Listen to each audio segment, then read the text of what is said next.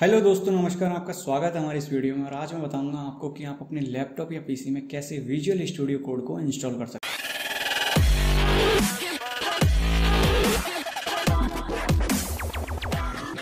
हैं। तो बिना किसी देरी के अपन सीधे चलते हैं क्रोम ब्राउज़र पर।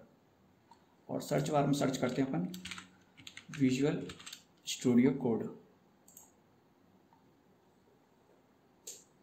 तो आपको जो पहली साइड दिखाई दे रही है, इस पर आप क्लिक कर देना। और क्लिक करने के बाद डाउनलोड्स फॉर विंडोज़ आप इस पर क्लिक कर देना अगर आपका चौंसठ बिट है लैपटॉप या पीसी लेकिन अगर बत्तीस बिट है तो आप नीचे आना अदर्स डाउनलोड और यहाँ पर विंडोज़ लिनक्स मैक और चौंसठ बिट बत्तीस बिट उस हिसाब से अपने सिस्टम के हिसाब से डाउनलोड कर लेना। मैं कर लेता हूँ इसको डाउनलोड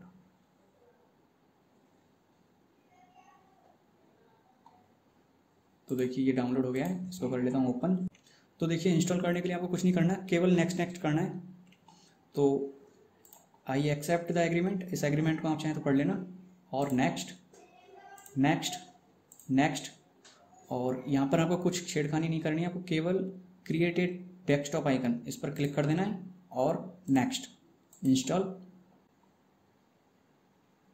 और फिनिश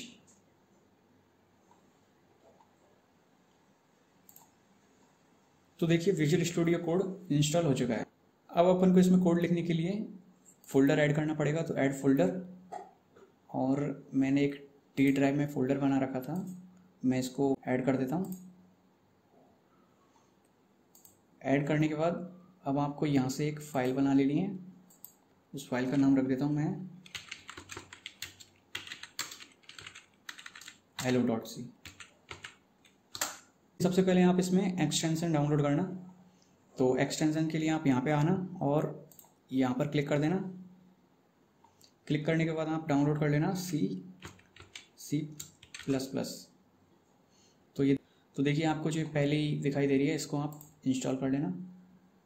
तो ये एक्सटेंशन हो गई है डाउनलोड एक एक्सटेंशन और डाउनलोड कर कर लेते हैं अपन।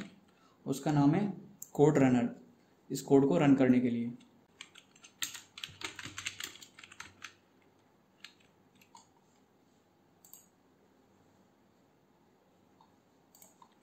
तो देखिए एक्सटेंशन क्यों मैंने इंस्टॉल करवाई थी? उसका रीज़न ये है कि अपन जैसे ही इस पर मेन लिखेंगे तो मेन लिखने के बाद देखिए, इसने थोड़ा सा कोड खुद ही लिख दिया है।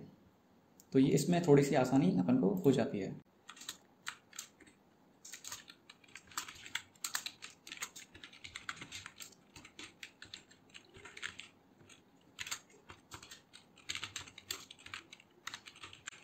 तो देखिए, मैंने इसमें कुछ नहीं, बहुत सिंपल छोटा सा हेलो वर्ड का एक प्रोग्राम लिख दिया है। सबसे पहले आपको कुछ नहीं, आपको सेव करना है। कंट्रोल एस से सेव कर लेना।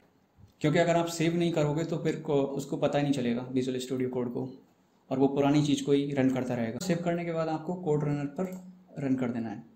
तो देखिए, ये एक एरर आ रही है। तो इस एरर को सॉल्व करने के लिए अपन को एक कंपाइलर डाउनलोड करना होगा। तो चलिए चलते हैं क्रोम ब्राउज़र पर और वहाँ पर अपन कंपाइलर डाउनलोड करते हैं। और कंपाइलर का नाम है मिनजी डब्ल्यू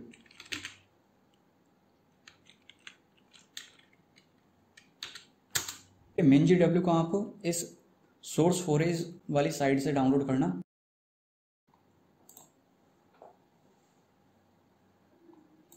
इस पर मैं क्लिक कर देता हूँ। अब मिन जी डब्ल्यू के सेटअप को आपको ओपन कर लेना है। और ओपन करने के बाद इंस्टॉल कंटिन्यू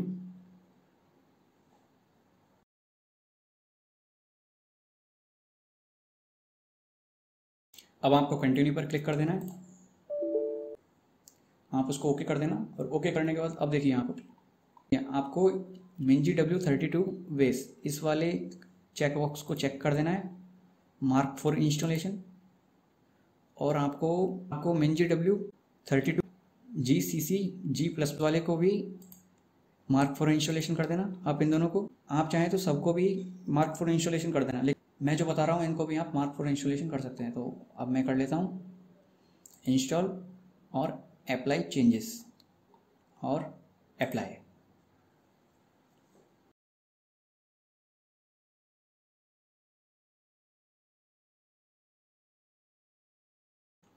देखिए पैकेज डाउनलोड हो चुके हैं। अब अपन क्लोज़ कर देते हैं इसको और इसको भी क्लोज़ कर देते हैं।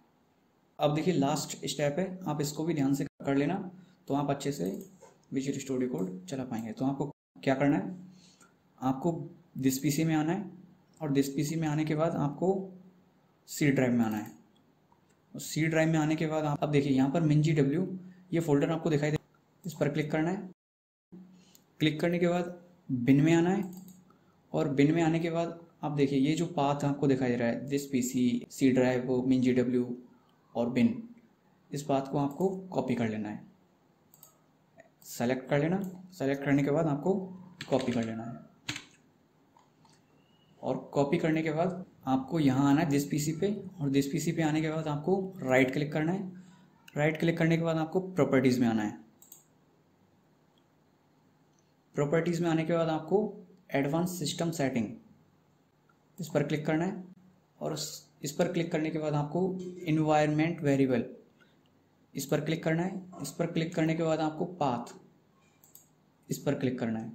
दोबारा से बता देता हूँ मैंने क्या किया है। आपको इस पीसी पे जाके राइट क्लिक करना है। राइट क्लिक करने के बाद आपको एडवांस सिस्टम सेटिंग पर क्लिक करना है। एडवांस सिस्टम सेटिंग पर क्लिक करने के बाद आपको इन्वायरमेंट वेरिएबल इस पर क्लिक करना है और फिर पाथ इस पर क्लिक करना है और पाथ पर क्लिक करने के बाद आपको एडिट एडिट पर क्लिक करना है और एडिट पर क्लिक करने के बाद आपको न्यू पर क्लिक करना है और न्यू पर क्लिक करने के बाद आपने जो पाथ वहाँ पर कॉपी किया था, उस पाथ को यहाँ पर पेस्ट कर देना है। तो मैं कर देता हूँ इस पाथ को पेस्ट और ओके ओके और ओके ठीक है, अब अपन चलते हैं सीधे अपने विजुअल स्टूडियो कोड में। और अब अपन कोड रनर पर इस कोड को रन करते हैं।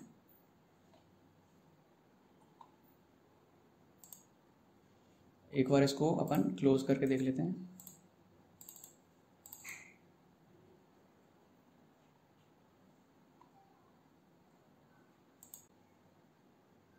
तो देखिए, ये कोड सक्सेसफुली रन हो चुका है। वो क्या है थोड़ा सा रैम से हटाना पड़ता है विजुअल स्टूडियो कोड को, इसलिए वो एरर दे रहा था। तो ये देखिए कोड रन हो चुका है। इसको मैं दोबारा से रन करके दिखा देता हूँ आपको। सॉरी तो देखिए, ये रन हो गया है। अब देखिए, इसमें इनपुट लेने के लिए अगर आपको दिक्कत आ रही हो तो आपको सेटिंग में जाना है और सेटिंग में जाने के बाद आपको यहाँ पर टाइप करना है रन इन टर्मिनल इस सेटिंग को आपको खोजना है। ये रही देखो, इस चेक बॉक्स को चेक कर लेना आप। अगर आपके में चेक नहीं हो तो चेक कर लेना तो आपको इनपुट देने में कोई प्रॉब्लम नहीं आएगी। और इसमें बिल्कुल नहीं जानते कि कैसे विजुअल स्टूडियो कोड वर्क करता है तो थोड़ा सा टाइम देना, आप टाइम के अनुसार इसको अच्छे से समझ जाएँगे। तो इस वीडियो को आप अपने दोस्तों के साथ शेयर करना।